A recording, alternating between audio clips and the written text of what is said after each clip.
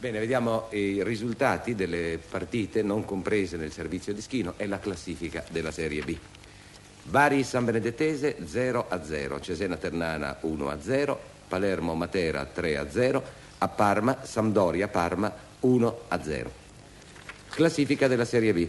Como Genoa e Monza 5 punti, Palermo Verona Sandoria Lecce 4, Bari Cesena Pistoiese Matera 3, Atalanta Brescia Spal Taranto Parma Pisa Ternana e Lanorossi Vicenza 2, San Benedettese 1. Infine le due nobili decadute e ancora parecchio affaticate Vicenza e Atalanta. Vantaggio vicentino col difensore Miani dopo un'insistita azione su calcio d'angolo dalla destra. Ecco il calcio d'angolo che verrà battuto era battuto corto come vedrete